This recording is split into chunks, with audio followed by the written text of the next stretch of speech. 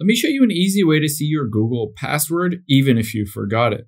Your Google or Gmail password is often stored on your device, iPhone, Android, or computer. You can always find that password on that device. I'm going to walk you through two different ways that you can primarily find that password.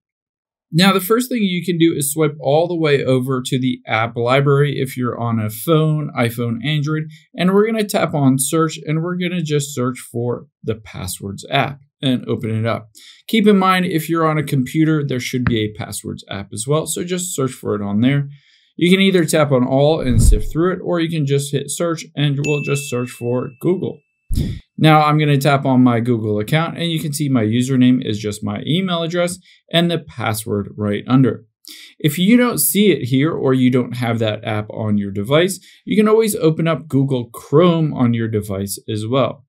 There are a couple different ways we can get to your passwords. From here, you can tap on the three dots at the bottom right and tap on Password Manager. And this will essentially allow you to see all your passwords. Again, we can just search and open up Google Password.